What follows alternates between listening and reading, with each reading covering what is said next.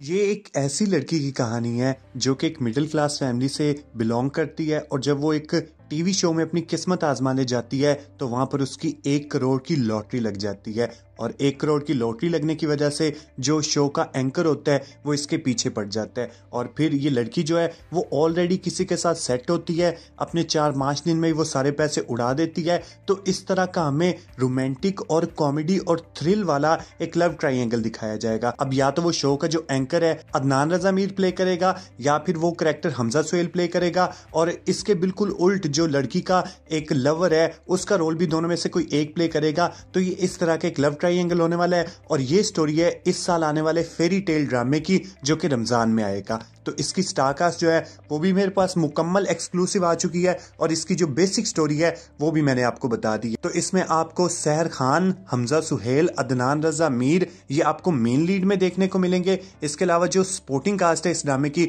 उसमें आपको आईना खान, अली सफीना, हिना रिजवी तहा कैसर, समन, अंसारी, आमना यूसुफ, जई और सोनिया मलिक देखने को मिलेंगे। इस नामे को सारा मजीद ने लिखा है और इससे अली हसन डायरेक्ट करने वाले हैं और ये मोमिना दुरेद के प्रोडक्शन तले बन रहा है और ये सेवन पी स्लॉट का इस साल का रमज़ान प्ले होने वाला है। मुझे इसकी स्टोरी काफ़ी प्रॉमिसिंग और अच्छी लग रही है। अब देखते हैं कि इसे कितने अच्छे से एग्जीक्यूट किया जाता है। अली हसन ने लास्ट टाइम परिस्तान को भी डायरेक्ट किया था। डायरेक्शन अच्छी थी, लेकिन स्टोरी और करेक्टर्स में इतनी डेप्थ नहीं थी जिसकी वजह से वो ड्रामा फ्लॉप रहा। तो आप ज़रूर बताइएगा कि आप इस ड्रामे की स्टोरी से कितने ज़्यादा एक्साइटेड हुए हैं, या आप ये ड्रामा किसके लिए देखने वाले हैं? अदनान रजा मीर के लिए, सहर खान के लिए, या फिर हमजा सुहेल के लिए आपको स्टोरी अच्छी लगी है? आप इसलिए ये ड्रामा देखेंगे तो वो मुझे कमेंट सेक्शन में ज़रूर बताइएगा। तो आज की वीडियो में बस इतना ही। अगर वीडियो अच्छी लगी हो तो इसे लाइक करें चैनल को ज़रूर सब्सक्राइब करें। मिलते हैं अगली किसी वीडियो में, तब तक के लिए अल्लाह हाफिज़।